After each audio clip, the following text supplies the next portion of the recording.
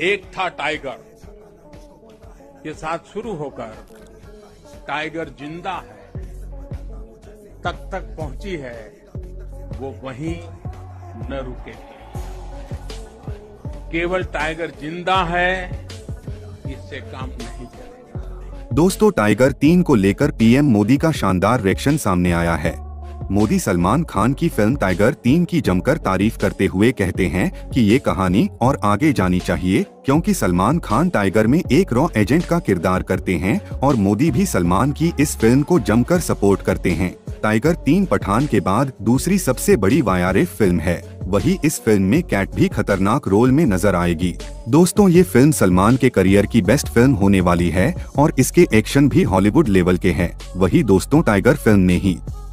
Spy universe की शुरुआत की थी, जिसके बाद पठान ने असली धमाका किया, लेकिन अब टाइगर फिर से वापस आ रहा है। वही इसका बजट काफ़ी ज़्यादा बताया जा रहा है।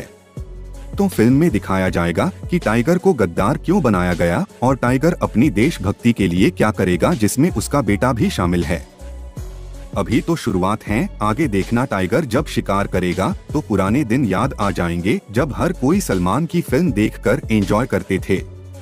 जा रहा है कि फ़िल्म में शाहरुख खान का कैमियो भी है अगर आप टाइगर तीन में एक्शन निर्देशकों की लाइनअप को देखेंगे तो आपको एहसास होगा कि निर्माता आदित्य चोपड़ा और निर्देशक मनीष शर्मा इस फ़िल्म से क्या चाहते हैं वे दर्शकों को एक धमाकेदार एक्शन एंटरटेनर देना चाहते हैं, क्योंकि हॉलीवुड के सर्वश्रेष्ठ नाम अब इस फ़िल्म का हिस्सा हैं। मार्क सिजाक जो पहले क्रिस्टोफर नोलन के साथ काम कर चुके हैं, वो भी इस फ़िल्म का हिस्सा हैं। इस फ़िल्म का स्केल काफ़ी बड़ा होने वाला है। जैसा कि आप सबको पता है कि टाइगर फ्रेंचाइज का तीसरा भाग टाइगर तीन मनीष शर्मा ने डायरेक्ट किया है। यह फ़िल्म इस दिवाली के आसपास हिंदी, तमिल और तेलुगु में रिलीज़ होगी। वही दोस्तों, इस एक्शन फ़िल्म में इमरान हाशमी विलेन की भूमिका में है और कैटरीना भी इस फ़िल्म में अहम किरदार में नज़र आने वाली है। बाकी आप लोग कमेंट में ज़रूर बताना क्या टाइगर जवान का रिकॉर्ड तोड़ पाएगी।